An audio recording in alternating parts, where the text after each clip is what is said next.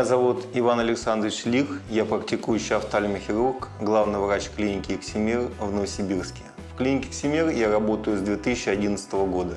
За это время я провел более 30 тысяч микрохирургических вмешательств при различных глазной патологии. Моя специализация – это хирургия патологии хрусталика с имплантацией различных моделей интраокулярных линз, лечение глаукомы, лечение заболеваний роговицы и сетчатки.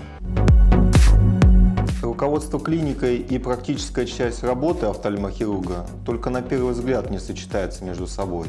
Задачи, стоящие перед каждой из этих должностей, дополняют друг друга и служат одной единственной цели – оказание своевременной, качественной медицинской помощи. Выполняя работу офтальмолога, в определенный момент начинаешь понимать, что необходимо делиться своим опытом с коллегами и объединить усилия для большей эффективности лечебного процесса. И это уже должность главного врача. Клиника должна работать как четкий механизм, где каждый отвечает за свою часть работы, и из этого складывается общий результат.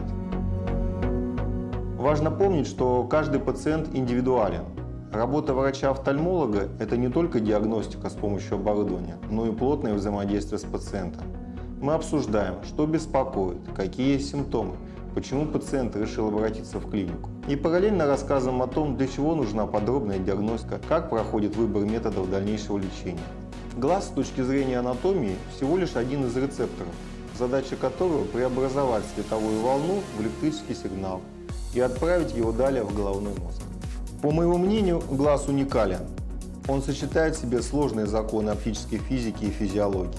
Ткани глаза имеют неповторимую, сложно организованную структуру. Глаз одарен своим локальным иммунитетом, защитными биологическими барьерами. К сожалению, такая сложность приводит и к многообразию патологий, которые страдает данный орган чувств. Проявление ряда общих заболеваний организма также отражается в нарушении работы зрения. Неудивительно, что вокруг такого маленького органа выросло целое научное направление – офтальмология.